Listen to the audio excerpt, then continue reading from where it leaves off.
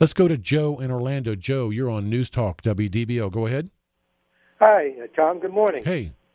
Uh, I have a question about uh, real estate ownership. I'm thinking about buying a home. I have a uh, living trust, and I'm just wondering whether or not if I were to title the house in the name of the trust, would that insulate it from uh, any liens or uh, judgments against me? So, Joe, is this a home you're going to live in or investment property? No, I'm going to live in it. Okay, Joe. So you're wrong on two fronts there, Joe. Number one, even if you have a living trust, you do not put the home you live in into that living trust. You do put rental property, investment property, vacation home in it. If you put your home into the living trust, you are going to lose your protection from creditor claims.